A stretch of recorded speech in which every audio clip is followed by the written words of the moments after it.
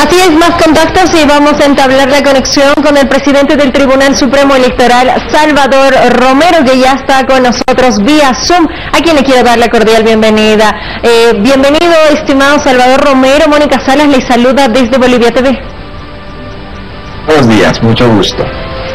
Hablemos acerca de este empadronamiento, presidente. Es importante que la gente conozca hasta el momento cuántos empadronados tenemos, sabiendo que es la fecha, vence este 17 de diciembre.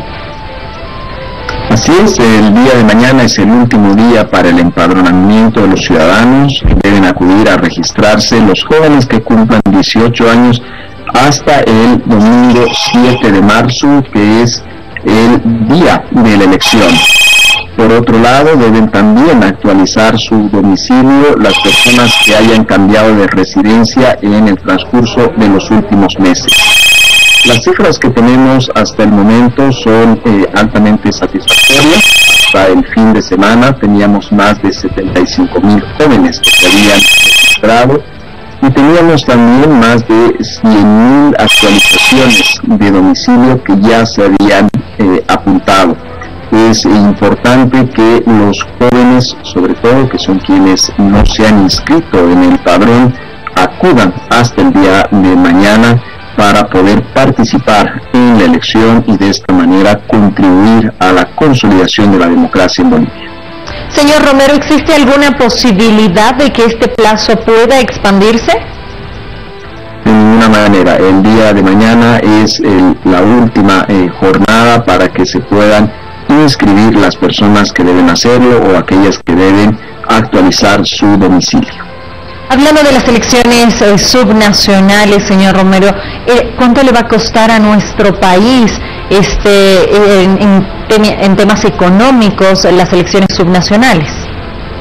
El Tribunal Supremo Electoral ha trabajado el presupuesto con una lógica de austeridad, por lo tanto estamos con una cifra inferior a la de la elección general, con un monto inferior a los 200 millones de bolivianos, a pesar de que hay muchos eh, materiales que deben producirse en una escala mucho mayor que en la elección eh, general. Por ejemplo, se requiere imprimir el doble de papeletas que en la elección general, porque habrá una papeleta para la elección departamental y una papeleta para la elección municipal. Por lo tanto, tendremos imprimir dos veces la cantidad de papeletas que se tuvo que imprimir para la elección general de octubre.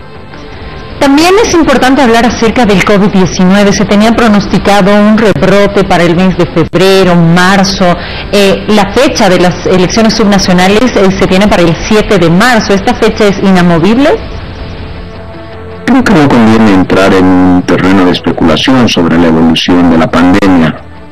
La fecha está ya fijada para el domingo 7 de marzo y el Tribunal Supremo Electoral va a trabajar con el apoyo y el asesoramiento de la Organización Panamericana de la Salud para tener los eh, protocolos que nos permiten que la jornada electoral y el proceso electoral en general transcurran de manera adecuada y que no tengan una incidencia negativa sobre la evolución de la pandemia. Hay que recordar que Bolivia tuvo un gran logro colectivo en octubre de 2020 porque hemos logrado celebrar una elección altamente participativa y que no tuvo repercusiones o impactos negativos sobre la evolución del coronavirus.